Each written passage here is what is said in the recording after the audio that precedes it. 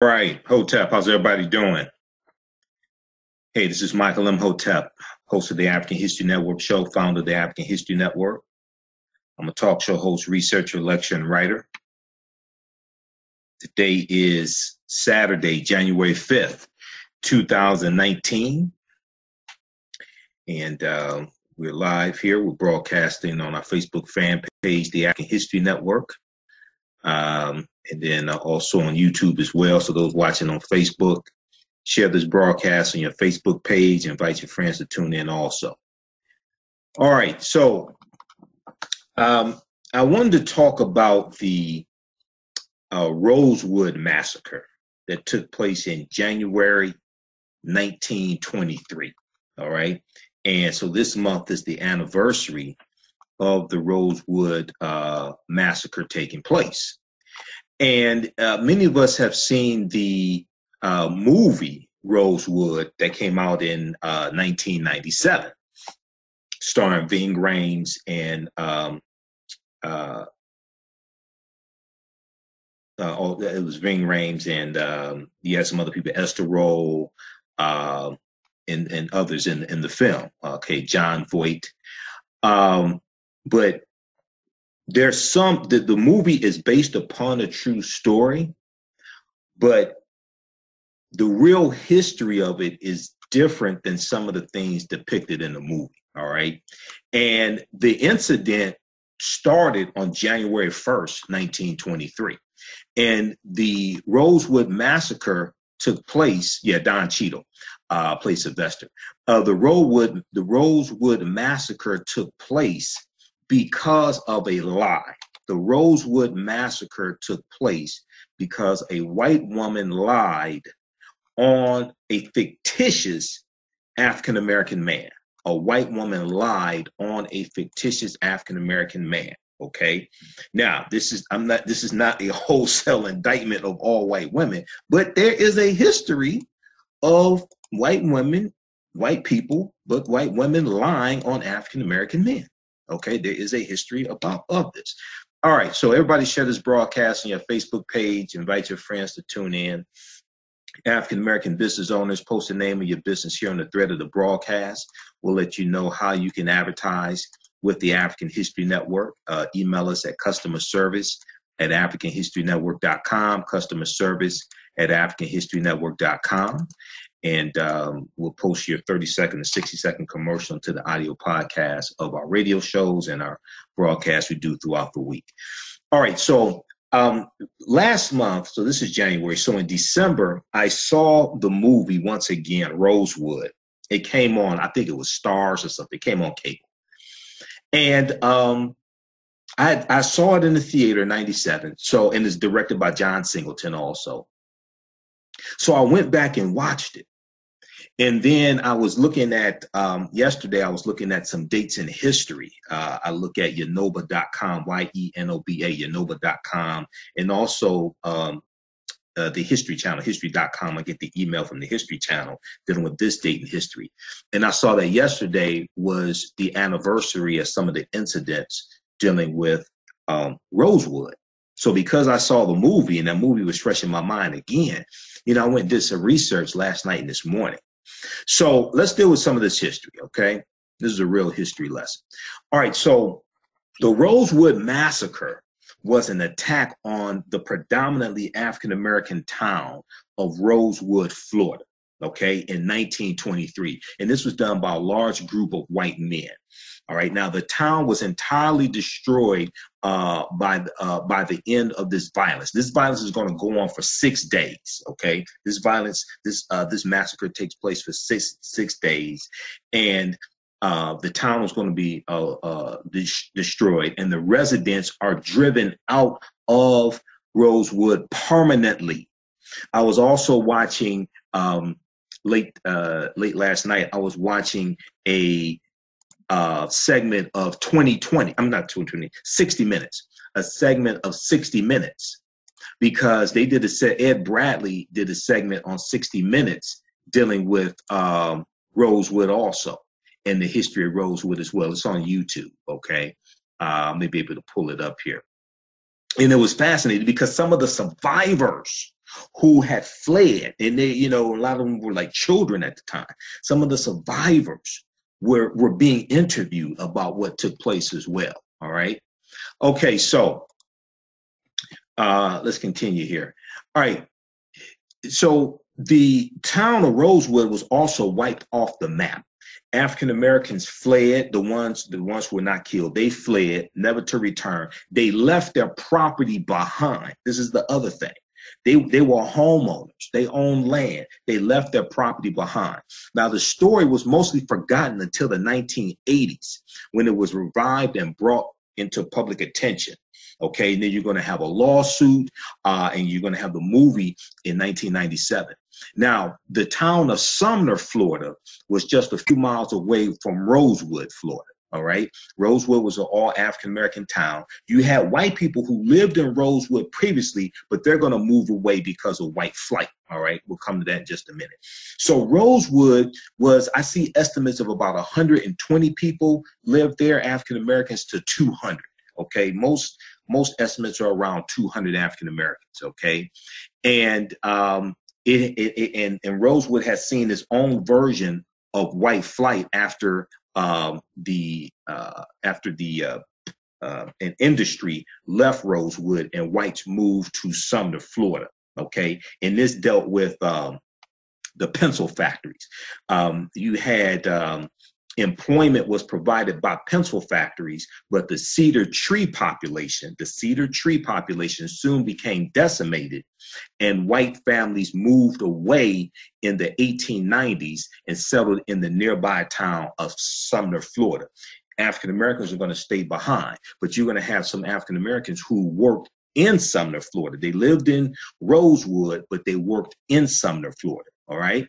So the town of uh, Rosewood, Florida, was originally settled in 1845.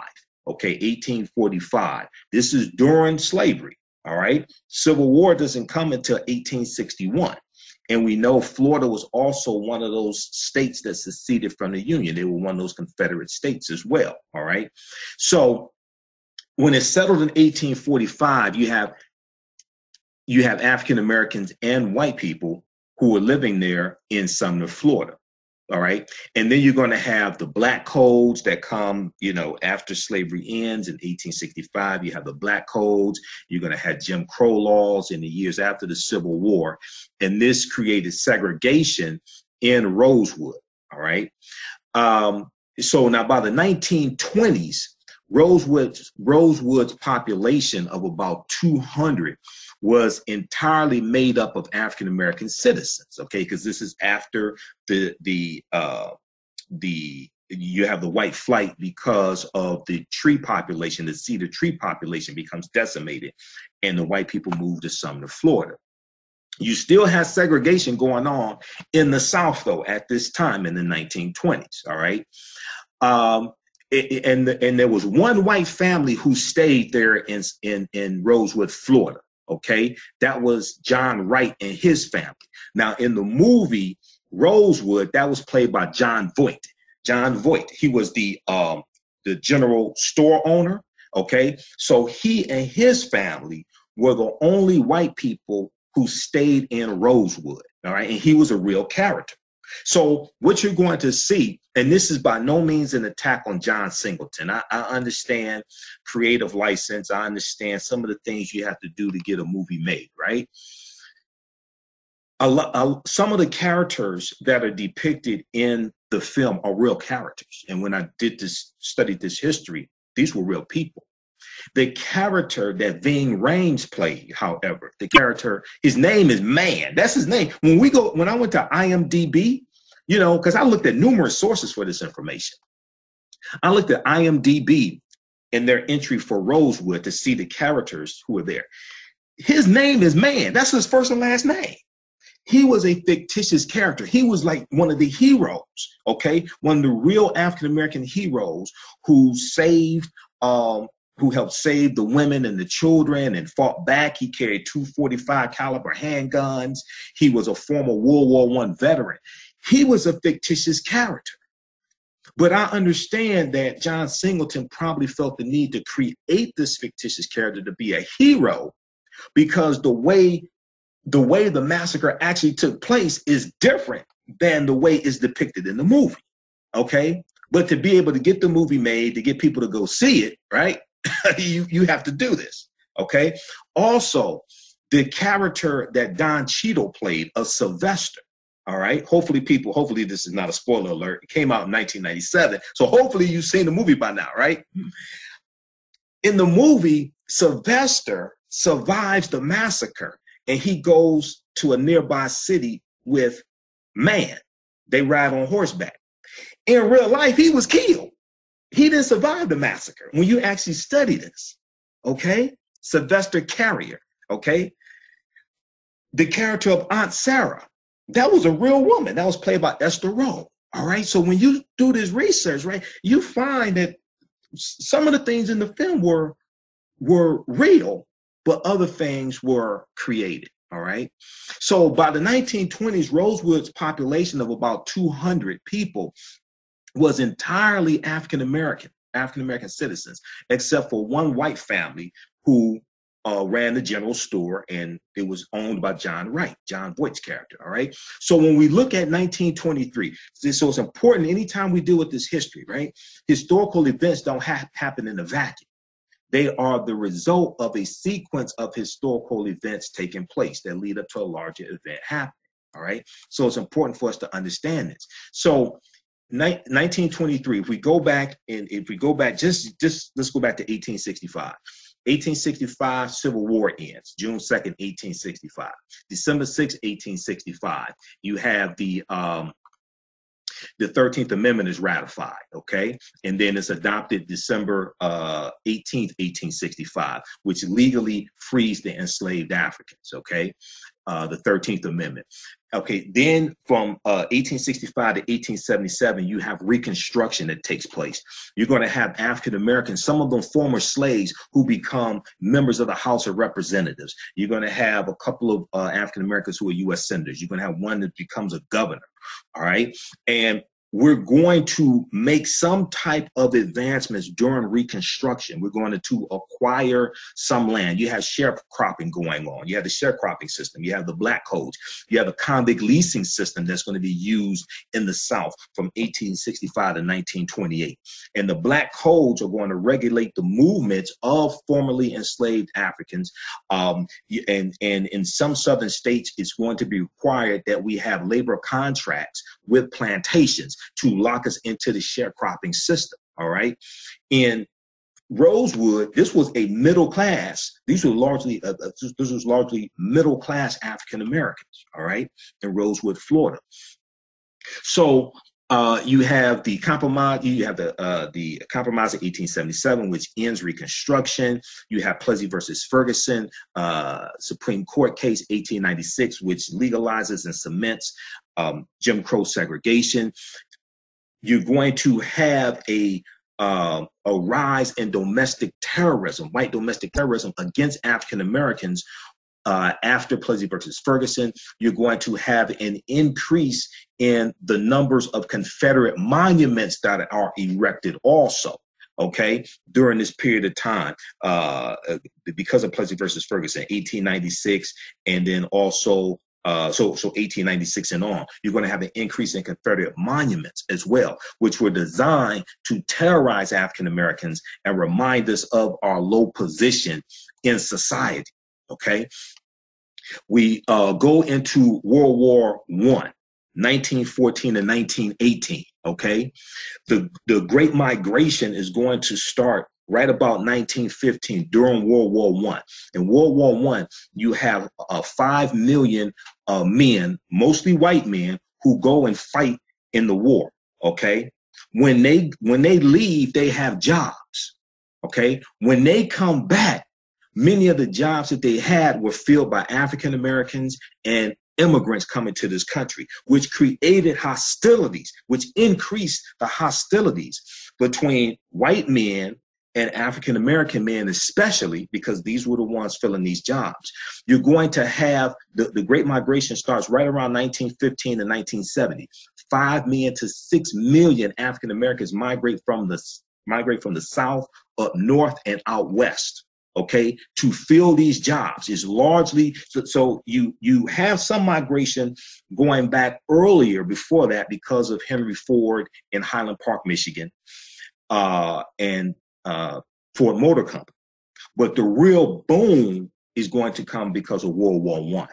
All right, it's going to continue with World War Two. What happens is when World War One ends in 1918, the next year is called the Red Summer, 1919. Okay.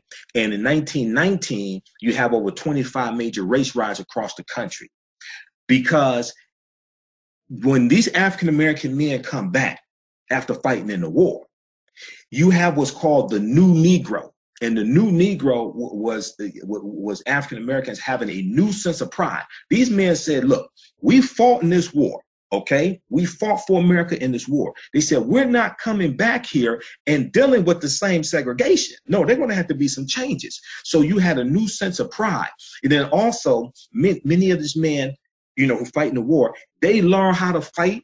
They learn how to shoot.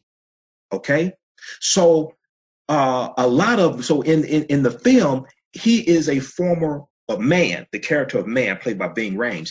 He's a former World War One veteran right? He knows how to fight. He understands military strategy. Okay. And you see him implementing military strategy when he's organizing the troops. The young boy named Arnett, his name is Arnett Doctor. He's a real character. He says, Arnett, you're my lieutenant. I need you to organize the, the children and, and the women. I need you to protect them, right? He's implementing military strategy and he knows how to fight. He carries two 45 caliber handguns. He knows how to use a rifle, all right? So this is something that African American men learned in World War One, as well as the Civil War. Okay, but we're talking about World War One right now. So in 1919, you have over 25 major race riots across this country. James Weldon Johnson, who wrote the uh, National Black Anthem, Lift Every Voice and Sing, he called it the Red Summer because the streets of America were flowing with blood. All right. Let's back up a minute. February 8th, 1914, the film The Birth of a Nation debuts, right? Which is seen all across the country, is viewed by Woodrow Wilson at the White House. The film, The Birth of a Nation, rejuvenated the Ku Klux Klan. You got to understand a historical context that 1923 happens in. And this happened two years after the attack on Black Wall Street, June 1st, 1921, in Tulsa, Oklahoma. So you have to understand a historical context that these things take place in. All right. So you have uh, the birth of a nation, which rejuvenates the Ku Klux Klan, because the Ku Klux Klan had pretty much died out by 1915. Uh, February 8th, 1915 is when it came out. February 8th, 1915. The Klan had pretty much died out because the Klan was founded December 24th, 1865 in Pulaski, Tennessee, the same month that the 13th Amendment is ratified. All right. So the, the film, The Birth of a Nation, deals with slavery, civil war, and reconstruction in South in Piedmont, South Carolina. This is where it takes place. And the heroes of the film are the Ku Klux Klan, who put down a rebellion by former Union Negro soldiers. Okay and it shows the these former Union Negro soldiers and these carpetbaggers coming from the north, these white Republicans coming from the north, taking over the town, pushing around uh, the white Southerners, things like this, right? So the heroes of the film are the Ku Klux Klan. The movie, The Birth of a Nation, before it was a movie, it was a play called The Clansman that traveled around the country. When it goes to Philadelphia, there were 3,000 African Americans who protested against the play. We had protests against the movie, The Birth of a Nation, and, and the NAACP led these protests. When, when it goes to uh, Boston, I think it was, uh, William Monroe Trotter, William Monroe Trotter leads protests against the movie because we saw in the movie African Americans being all the negative stereotypical images of us, but we also saw us being killed. We saw uh, black men raping white female virgins, all this depicted in the movie The Birth of a Nation. We knew this was detrimental to our existence. The movie and the play are based upon a novel by a man named Thomas Dixon called The Clansman. The Clansman. Research this. So when the movie The Birth of a Nation comes out, the Ku Klux Klan used this as a recruiting tool. So we see a huge rise in the Ku Klux Klan population from 1915 going into the 1920s. All right. Oftentimes in newspaper ads that advertise the film The Birth of a Nation, the Ku Klux Klan would take out a recruiting ad next to the uh, ad for The Birth of a Nation. So we we have to understand the sequence of historical events leading up to January 1st, 1923. So you have the you have the rejuvenation of the Ku Klux Klan, which goes into the 1920s. And the 1920s are looked at really as the heyday of the Ku Klux Klan. They they have three phases. They have the phase right after slavery, then they have the 1920s, and then they have the civil rights era. These are like three eras of the Ku Klux Klan. 19 uh, so we have the 1920s we, we 1920 we have the new negro. Uh, 1921 we have the attack on black wall street june 1st 1921 uh, i've done a two and a half hour lecture dealing with it. We have it at our website africanhistorynetwork.com i'm also in the documentary resurrecting black wall street the blueprint of dr boyce watkins in your black world films. Okay so you have all this taking place then in um, 1922, you have um, how's everybody doing? All right, share this broadcast on your Facebook page. Invite your friends to tune in also. Okay, this is a history lesson for you. It's not African American History Month, but we deal with this type of history daily at the African History Network, right? Uh, then in 1922, you have a, uh, a, incident that takes place as well. BlackPast.org has a good article dealing with this Rosewood Massacre, 1923, 1923, right? Prior prior to the event that takes place November 1st, 1923, I'm going to get that I'll talk about in just a minute. You had an had uh, a series of incidents that stirred racial tensions in Rosewood. Now, during the previous winter, of 1922, a white school teacher from uh, Perry, Florida, had been murdered. And on New Year's Eve of 1922, there was a Ku Klux Klan rally held in Gainesville, Florida, located not far from Rosewood. It's just a few miles from Rosewood. So while this was taking place, there were about 500 Klansmen at a rally in Gainesville, Florida. All right. This is this is right around the time of January 1st, 1923. All right. So let's continue here. All right. So what happened was, and um, African American business owners post the name of your business here on the thread of the broadcast. Email us at customer service at AfricanHistoryNetwork.com to find out how you can advertise with the African History Network. All right. And uh, also, if you like this type of information, you can donate to the African History Network, paypal.me, paypal.me forward slash the AHN show, or go to our website, AfricanHistoryNetwork.com, AfricanHistoryNetwork.com. That helps us to keep doing the research, keep broadcasting our radio show Sunday nights, and uh, stay on the air. All right. Okay, so here's what happened. January 1st, 1923, in Sumner, Florida, 22 year old Fannie Taylor Fannie Taylor, was the wife of a mill worker. Okay. He was actually a foreman there at the mill plant. She was heard screaming by a neighbor. The neighbor found Fannie Taylor covered in bruises and claiming that a black man, a fictitious black man, had entered the house and assaulted her. We see this depicted in the movie, okay, Rosewood. Now, she did not say that she had been raped, only that she had been assaulted. But the word, quote unquote, assault was interpreted as a sexual violation by the white men and white people in her town of Sumner, Florida. She did not say she was raped. In the incident report, okay, that was taken by Sheriff Robert Elias Walker, and he's depicted in the film also. In the incident report, uh, Fannie, T- Fannie Taylor specified that she had not been raped. Okay. But she lied and said that a black man had entered the house and assaulted her. That's not what happened. What happened was she was cheating on her husband with a white man, and he beat her ass, and she lied and said a black man did because she's trying to cover up the fact that she's cheating on her husband. Okay? So Fannie Taylor's husband, his name was John, James Taylor, and he was a foreman at the local mill plant. Okay? He escalated the situation by gathering an angry mob of white citizens to hunt down this fictitious black man who beat his wife. Okay? He also called for help from white from white men in neighboring counties. Among them were a group of about 500 Ku Klux Klan members who were in Gainesville, Florida for a rally. This is 23. So the Klan has been rejuvenated by then. This is after, this is eight years after the film The Birth of a Nation came out, right? So the white mobs prowled the area woods searching for any black man they might find.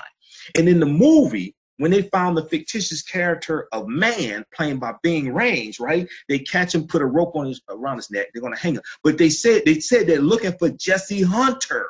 They're looking for Jesse Hunter. Jesse Hunter was an African American man who escaped from a nearby chain gang, right? And they suspected that he was the one who beat Fannie Taylor, but it wasn't. She made this black man up. Okay? So the white mobs are going to prowl the area woods searching for any black man they might find. Okay, and they and they would interrogate them. Are you Jesse Hunter? Where's Jesse Hunter? Blah blah blah. Right now, while the fear of black on white violence had been stoked across the uh, across the South since the days of slavery, particularly in areas where African Americans outnumbered white people, Fannie Taylor's claim was especially pernicious. Now, Fannie Taylor's claim came within days of the uh, uh, not the, the, days of the Ku Klux Klan rally near Gainesville, Florida, just north of Levy County uh, or Levy County, L-E-V-Y, Levy County. With tensions high, her words set in motion six days of violence in which white men from Sumner, because it wasn't it wasn't white women out there with them doing the killing and the shooting, it was white men okay, with white men from Sumner, Florida, and neighboring towns and counties descended on Rosewood, okay, with the intent on finding this alleged assailant and lynching him.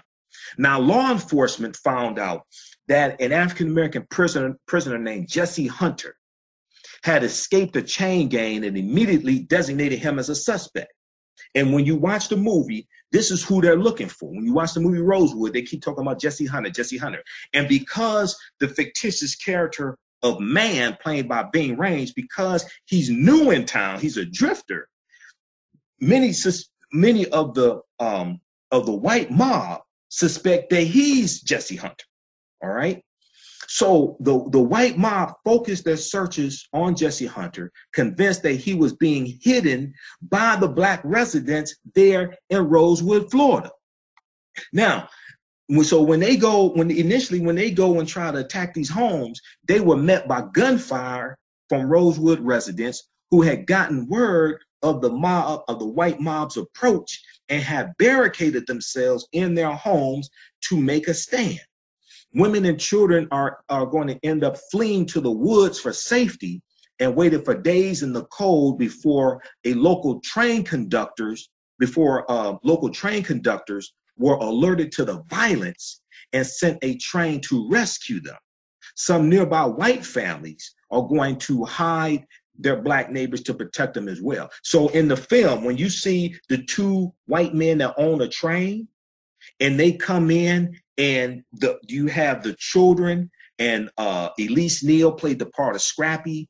And you have the other sister and they're hiding in the swamp and they're going to come and get on the get on that train to get out of there. That really happened okay? There were two white men who owned the train. Now i don't know if the i don't know if john wright who owned the general store was the one who went and convinced them as as we saw in the movie. But them taking some of them out on the train, that did happen.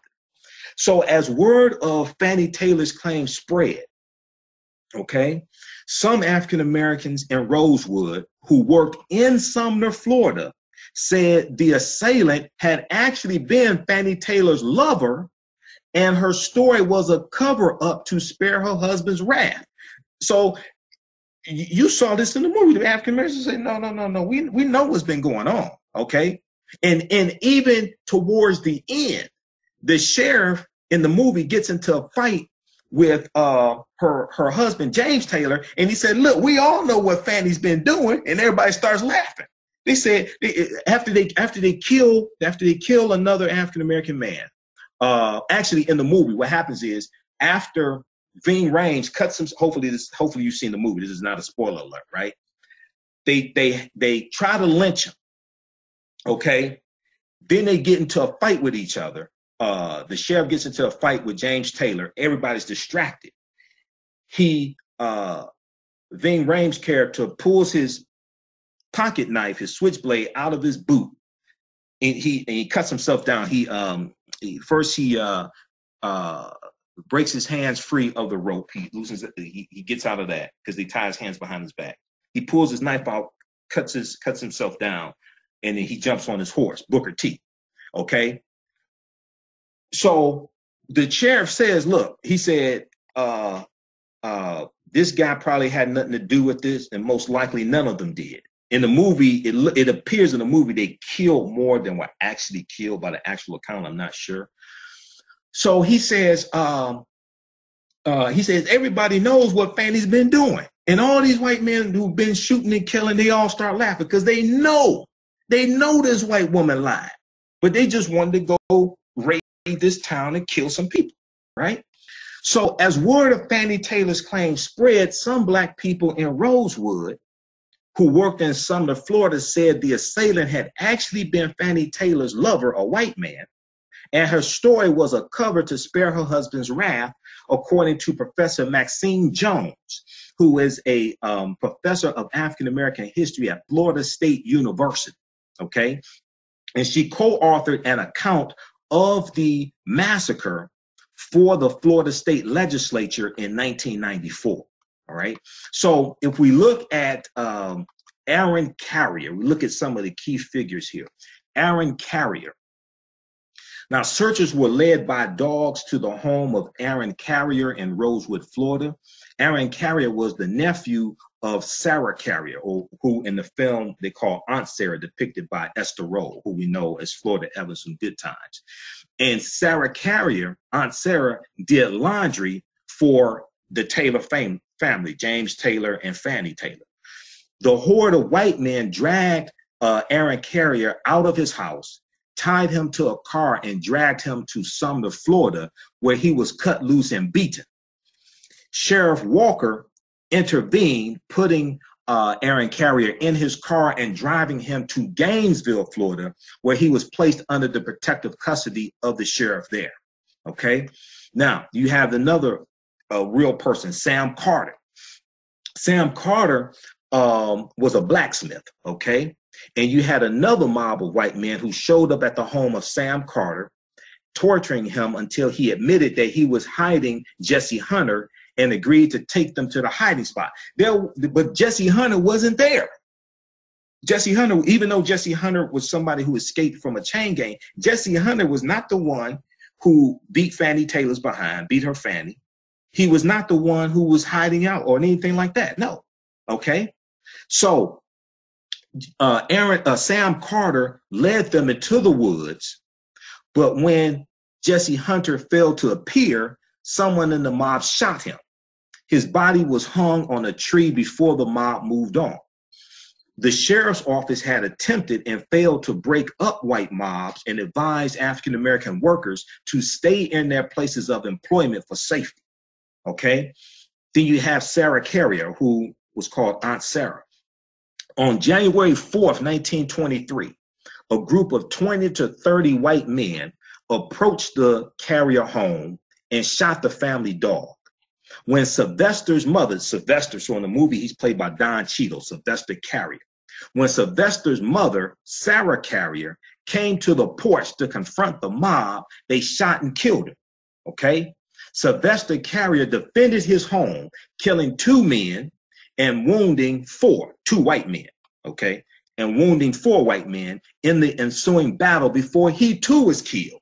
So in the movie, you see Don Cheadle's character, a Sylvester Carrier, surviving and making it out on horseback along with the fictitious character of Mann and they're going to they they tell the people on the train Scrappie and the other sister and the children will meet you in the nearby town okay? But that's not what happened. Sylvester carrier was actually killed also. So the remaining survivors fled to the swamps for refuge where many of the african american residents of rosewood had already retreated hoping to avoid the rising conflict and increasing racial tension. As many as 25 people, mostly children, had taken refuge in the home of Sarah Carrier, Aunt Sarah, when on the night of January 4th, armed whites surrounded the house and the believed Jesse Hunter was hiding there. Okay. All right. So, um, so the gun battle and the standoff lasted uh, overnight. It ended when the door was broken down by white attackers. The children inside the house escaped through the back door and made their way to safety through the woods where uh, where they're going to hide. Okay, that's what's taking place at her house. Uh, so you're going to have violence that escalates also in Rosewood. This is January 4th. So it starts January 1st, okay, with Fannie Taylor lying, lying about what happened. All right. So this is January 4th. We have incidents taking place January 5th and January 6th, as well as January 7th. How's everybody doing? Share this broadcast on your uh, Facebook page. Okay, invite your friends to tune in also on YouTube, on social media. Uh, if you're just tuning in, this is Michael Imhotep, host of the African History Network show, founder of the African History Network. And uh, we want to let you know African American business owners post the name of your business here on the thread of the broadcast. Also, if you like this type of information, be sure to uh, register for the online courses that I teach. They're all on demand. We have them in a bundle pack, a 10 course bundle package. Regularly $130. We have a weekend promotion. They're on sale for only $40.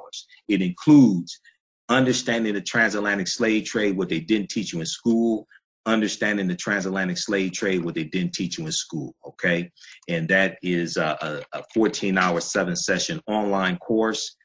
And it's taught by yours truly. We have a power, we do a PowerPoint presentation. We have video clips.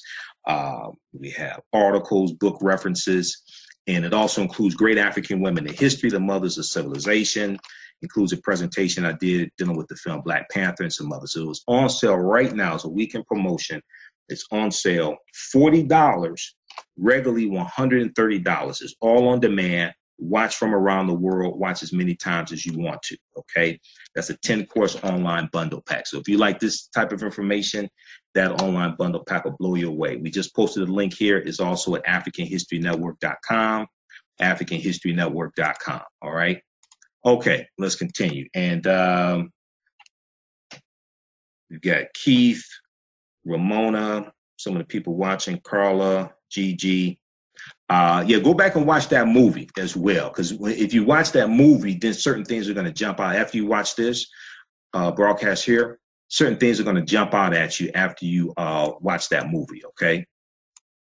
Also, we have the um, eight digit, the Black Panther eight digital download bundle pack, regularly eighty dollars on sale, thirty dollars as well. Includes three of my lectures dealing with the film Black Panther, and uh, really is nine because you get my Kwanzaa presentation as well. Okay. Uh, we just posted the link. That's at AfricanHistoryNetwork.com, and that helps us to keep doing what we're doing as well. All right. Okay, let's continue here. Okay, so in Rosewood, the violence is going to escalate. And it's going to continue into January 5th, 6th, and 7th. So news of the standoff at the Carrier House is going to spread with newspapers inflating the number of people who were dead and falsely reporting that bands of armed African American citizens are going on a rampage. That's not what happened. It was white people on a rampage killing innocent and shooting innocent African Americans, torturing them.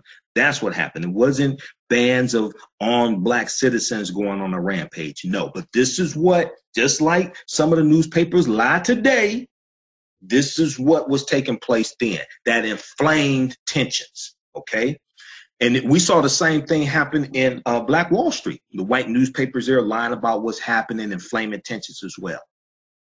So um, even more white men are going to pour into the area, believing that a race war had had broken out. Now, on January 5th, 1923, the white mob burned the uh, Carrier home before joining with a group of uh, 200 men from surrounding towns who had heard erroneously that a black man had killed two white men. Okay. But apparently they didn't know the full circumstances behind this. Okay. And, and we know Sylvester Carrier, he shot and killed two white men. Okay. Who were there at, at his home threatening he and the people inside. So as night descended, on the night of January 5th, the mob attacked the town of Rosewood, slaughtering animals and burning buildings.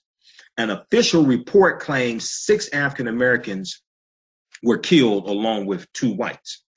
Other accounts suggest a larger total. Okay, so it's hard to, I, I haven't been able to find a real accurate count of how many were killed. I don't know. I know in the film they show them digging a mass grave and dumping black bodies into it. Looks like maybe 20, 30, something like that or more. So I, I don't know. Now, at the end of the carnage, at the end of the carnage in Rosewood, only two buildings remained standing a house and the town general store. The, the general store was owned by the white man, John Wright. And he was hiding out African Americans at his house also. Okay. So he was he was one of the heroes who helped protect African Americans as well. Okay. He was one of he was one of the heroes. So some of the first targets of the influx were the churches in Rosewood, which were burned down. Houses were then attacked, first setting fire to them and then shooting people as they escaped from the burning buildings. Lexie Gordon, L E X I E, Lexie Gordon was one of those who were killed, one of those who were murdered, taking a gunshot to her face as she hid under her burning house. Lexie Gordon had sent her children fleeing when white attackers approached, but suffering from typhoid fever, she stayed behind. Many Rosewood citizens fled to the nearby swamps for safety spending spending days hiding in the swamps. Some attempted to leave the swamps, but were turned back by men working for the sheriff. James Carrier, James Carrier, who was the brother to Sylvester Carrier and son of Sarah Carrier or Aunt Sarah, did manage to get out of the swamp and take refuge with the help of a local turpentine factory manager. A white mob found him anyhow and forced him to dig a grave for himself before murdering him. Others found help from white families willing to shelter, willing to shelter them. Okay. All right. So if we look at John and William Bryce, John and William Bryce, and these were um, two real men also. We saw them depicted in the film. They owned the train. Okay. Many of the black residents of Rosewood who fled to uh, the swamps were evacuated on January 6, 1923, by two local train conductors, John and William Bryce. Many others were hidden by John Wright, the owner of the general store. Um, and then other African American residents of Rosewood fled to Gainesville, Florida, and to northern cities also as a consequence of the massacre, Rosewood became deserted. And Rosewood was actually, because of this massacre, Rosewood was wiped off of the map also. Okay. Because I remember here back around the time the film came out, and even before then, because the lawsuit was in 19, 1993 and then going into 94. And I remember hearing stories about this in the news about Rosewood and then the movie came out, and they talked about how the, how the town of Rosewood was actually wiped off the map. Okay, so aware of the violence in Rosewood and familiar with the population, the Bryce brothers, John and William Bryce, drove their train to the area and invited escapees. Okay, the African American escapees, those that have been hiding out in the swamp, things like this.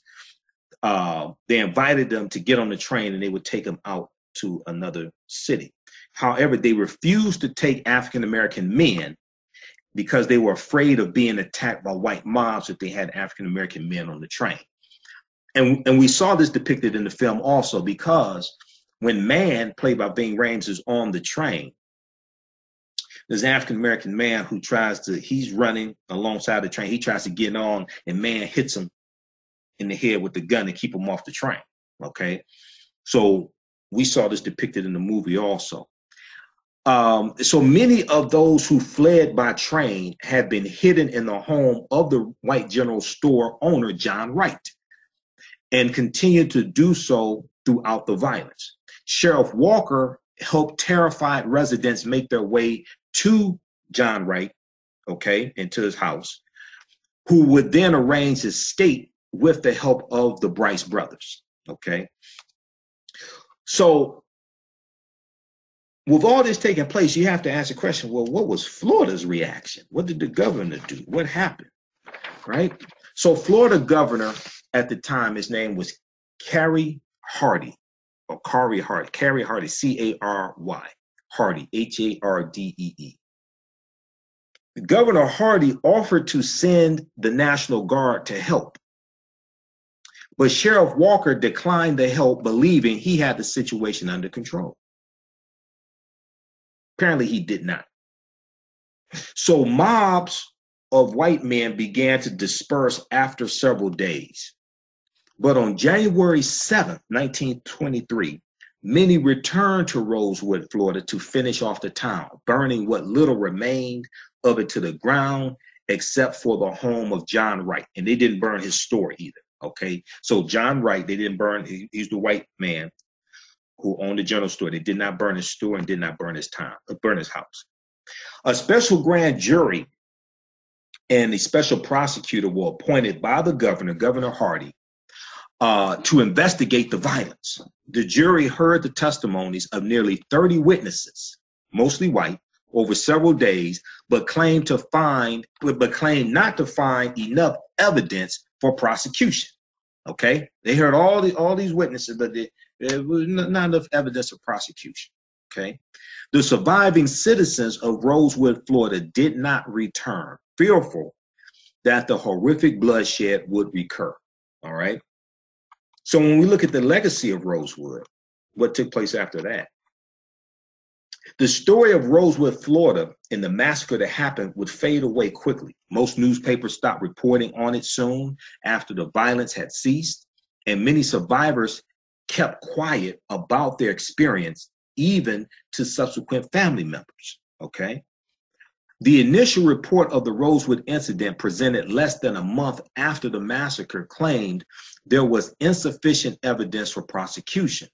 Thus, no one was no one was charged with any of the Rosewood murders. In 1982, a journalist by the name of Gary Moore who was a journalist for the St. Petersburg Times, resurrected the history of Rosewood, Florida through a series of articles that gained national attention. The living survivors of the massacre uh, at, at, at this point were all in their 80s and 90s, okay? And they came forward. They were led by Rosewood descendant Arnett Doctor and demanded restitution from Florida. Arnett was a survivor. Arnett is depicted in the film. He's a little he's a little boy in the film, and the character of Mann tells him, "You're my lieutenant. Okay, I need you to organize these children and women. I need you to protect them. Things like this, right?"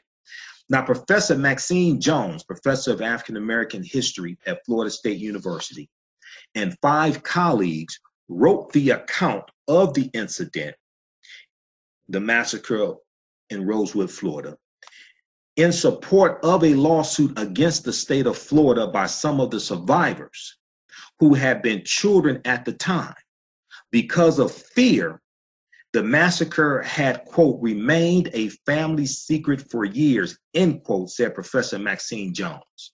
Quote, not knowing who you could trust and believing people with white skin could get back at you, end quote not knowing who you could trust and believing people with white skin could get back at you, quote unquote. So it's going to be Arnett Doctor who finally decides to speak out and seek redress, and he's going to lead the survivors in this lawsuit. Based on his account and those of surviving eyewitnesses and the report from Maxine Jones and five of her colleagues, the Florida state legislature approved a $2.1 million settlement in 1994. The governor also, at the time, the governor in Florida also issued an apology on behalf of the state for not bringing perpetrators of the destruction to justice, not sending, nor, and also for not sending officials to quell the violence and rescue the innocent. The action led to the passing of a bill awarding them uh, $2.1 million and created an educational fund for descendants of the Rosewood Massacre. The bill also called for an investigation into the matter to clarify the events, which um, uh, Moore took part in also. Okay, and uh, I forgot Moore's first name. And then we're going to see. Um, so this is in this is in '94, and then we're going to see the um, uh, we're going to see the film Rosewood, which took place in uh, Gary Moore. Okay, uh, I think they're referring to Gary Moore. Okay, yeah, the the the reporter Gary Moore. Okay, the bill also called for an investigation into the matter to clarify the events, and uh, Gary Moore took part in this investigation also. All right, so then the film, uh, directed by John Singleton, who directed uh, Boyz n the Hood, came out in 1997, which dramatized these events, and it was largely is based on a true story. Even though they took some creative licenses, and you know, I'm not beating up on John Singleton because that helped. That movie really helped to get that story out even more, even after the lawsuit. Um, so this is why when you see a movie that's based on a true story, you have to go back and like actually research the story to, to be able to separate fact from fiction. Because if you don't, I mean, you just sit up and believe that everything you saw in the movie was true, and it's not necessarily true, even though it's based upon some real events. Okay. All right, let's go to some of your comments. How's everybody doing? Share this broadcast on your Facebook page, hope uh, in your social media platforms. Hopefully, you learn something. Hopefully, you like this type of information. How you all like this type of information? Okay. And let's go to some of your comments here. African American business owners, post the name of your business here on the thread of the broadcast. But this time, back in 1923, this was going on in um, Rosewood, Florida. Okay, the massacre in Rosewood. All right. Let's see. We have Davidson, Zaire. Uh, and those in Detroit, hey, I'll be at the Muslim Center tonight uh, 5 p.m. to 11 p.m. for the Winter Festival. Um, we have the information on our Facebook fan page, uh, so check that out. Also, those in the Detroit area, 1605 West Davison. I'll be a vendor there as well. They do it each year. It's been a few years since I've been there. It's open. It's open to the public. It's family fun also. Uh, so it's at the Muslim Center uh, this uh, this evening. Okay, January 5th, 2019. All right, let's see. Uh, to the to point they wouldn't stand up for themselves. Zaire, what are you talking about? Really sad how we allow white folks to input fear in us. That's sad. Well, there's a history behind it, but you you always you usually had a lot of African Americans who fought back, even in uh, Black Wall Street. Okay, see, in my research on Black Wall Street, you had a lot of uh, retired World War One veterans who lived in Black Wall Street, and they shot back. That's not talked about a lot in the history. Okay, in my in my lecture dealing with the history of Black Wall Street, I deal with this. You had 200 armed African American men who go to the jail where Dick Rowland, Dick Rowland was the 19 year old shoeshine boy who was accused of of raping and assaulting um, Sarah, the white the white girl Sarah, there in um, uh, Tulsa, Oklahoma, and he's in the jail and there's a mob of 500 white men who are armed that want to take him out and lynch him. You have 200 armed African American men who go to the jail to back the sheriff up and protect Dick Rowland. Okay? See that that part of the story of Black Wall Street is not talked about. And then when the mob comes in, uh, June 1st, uh, 1921. All right. You had African American men who shot back also. Because we you had a lot of retired World War One veterans that lived there in North Tulsa. North Tulsa is where the African Americans lived. South Tulsa is where the white people lived. What separated South Tulsa from North Tulsa was the uh, railroad track as well as segregation, but the railroad track. Okay. Carla Hornbuckle uh, said was told was what they told at the end of movie about reparations to these families of the murdered black people. They claimed they did not know of how many were murdered. Yeah, they got the, the survivors got some type of reparations. It's still unclear how many were murdered. I see accounts of six African Americans, two white men, but it's, it's suspected that it was much larger. The same thing with Black Wall Street. We don't, you know, the Red Cross said it was 300 people who were killed, but there were reports of we do we also know that a lot of African Americans were shot and wounded and fled Black Wall Street, fled North Tulsa, went into surrounding towns and died there. There are reports of seeing people dumping black bodies into the river, things like this in, in, in, in Black Wall Street. So the Red Cross, the Red Cross is going, and, and when you study Black Wall Street in Tulsa, Oklahoma, the one, the entire town was not destroyed. It was a lot of it was destroyed, but the entire town was not destroyed. The Booker T. Washington High School wasn't destroyed. The Booker T. Washington High School is where the American Red Cross set up a makeshift hospital, okay, to tend to the wounded. Um, then also, African Americans are going to rebuild Black Wall Street, and we rebuilt it with our own dollars. That's the other part that's not talked about. Okay. Uh, David Neely, how you doing? Bruce Johnson said, "Great job."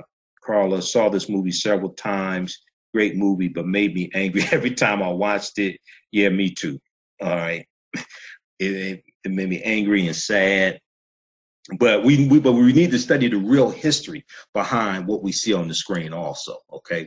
We need to study the real history as well. Um Bruce, the movie don't show Rosewood gain their wealth. It only show Esther Rolle going over to the neighboring county, Sumner, selling eggs. Also, they don't talk about how after the massacre, the United States, uh, let's see, it's a long message here. How after the massacre, the United States government took Rosewood off the United States map as it never existed. Yeah, yeah, that that happened. Uh, but Rosewood was largely a middle class African American town. Okay. Uh, Robert loved it, loved the education. Doretha said history repeats itself. Sandra said terrible. Sasha said thank you, brother Mike. You're doing awesome work. All right, thank you. This is now making sense. Sophia said, okay. All right. I saw the movie first time watching. All right. Yeah. So um, it's a powerful movie, Rosewood it's it's an even more powerful history behind the movie. All right. Okay, so um, African American business owners, uh, post the name of your business here on the thread of the broadcast. We know it's the beginning of the year. Uh, African American business owners, we're trying to figure out how do we tap into new markets? How do we bring on new customers? Email us at customer service at AfricanHistoryNetwork.com. Customer service at AfricanHistoryNetwork.com. We take your 30 second to 60 second audio commercial if you don't have one, we will create one for you at no additional charge. We put it into the audio podcast of our Sunday night show, the African History Network show. I've been hosting the African History Network show. This is the ninth year of it, March 10th, uh, 2019. It will be nine years exactly. And we broadcast, uh, we broadcast the show Sunday nights. And in the audio podcast, we uh, put your 30 second and 60 second commercial. We're on six different podcast platforms. We're on iTunes, Blog Talk Radio, Castbox, Acast, FM Player, and TuneIn. Okay, tune in, T U N E. And each episode we reach thousands of uh, people across the country and even outside the country. All right. So uh, email us at customer service at AfricanHistoryNetwork.com. Our current promotion running a few more days. Uh, you you get 50% off your first month, second month is free. 50% off your first month, second month is free. All right. And then also we have a weekend sale going on right now at AfricanHistoryNetwork.com. Uh, we have the uh, eight digital download uh, bundle pack with the ninth presentation also on sale $30. Regularly uh, $80 is the uh, Black Panther 8 digital download bundle pack. Includes three of my presentations dealing with the film Black Panther, five other presentations, including the lecture I did dealing with the history of the Tuskegee experiment of untreated syphilis on the Negro male. Then I separate fact from fiction there as well. And then also you get my Kwanzaa presentations uh, that I did, um, uh, that, that I just did in uh, December 2018 for Kwanzaa, okay? From Kwanzaa to Wakanda, from Kwanzaa to Wakanda, reconnecting African Americans to African culture for self empowerment, all right? We'll be live on the air Sunday night uh, on 9 10 a.m. WFDF, superstation here in Detroit for the African History Network show. We'll be live on the air. We broadcast on Facebook Live Sundays, 9 p.m. to 11 p.m. Eastern Standard Time. So tune in for that also as well. We'll talk some about Rosewood. We'll talk some about Boris Kodjoe hosting uh, a group of about 40 African American celebrities in Ghana to reconnect to African history and culture. We'll talk about um, some other things as well. Congressional Black Caucus, 55 members in the CBC, five members chairing committees. Uh, I think we'll talk some about uh, uh, the sister Jasmine, who was assaulted uh, at the McDonald's and fought back. Uh, and we talk. We'll talk about some other times. I have it laid out. I don't have it all in front of me right now. Okay. Those in Detroit, they will see you at the Muslim Center. Okay, uh, Saturday 5 p.m. to uh, 11 p.m. is uh, open uh, to the family. We have the information here on our Facebook fan page, the African History Network. And you don't have to be a Muslim to attend. I'm not a Muslim, but I've been to the Muslim Center before. A lot of people there know me. It's in Detroit. Some of those people listen to my show, follow me here on the African History Network. So we'll have, we'll have a vendor table. We'll have our DVD lectures there also. A lot of a lot of them will be on sale. The Kwanzaa and uh, January sale continues. All right, so hey, we have to get out of here. Hey, remember at the African History Network, we focus on educating, empowering, and inspiring people of African descent throughout the diaspora and around the world. Because right now it's corrects wrong behavior. What you do for yourself, what you do to yourself, and what you allow other people to do to you and get away with is based upon what you think about yourself. What you think about yourself is based upon what you have been taught about yourself. What you've been taught about yourself is based upon everything you've read, heard, and seen about yourself. Okay? Remember, right now it's correct wrong behavior. It's not over till we win. Wakanda forever. We'll talk to you next time. Peace.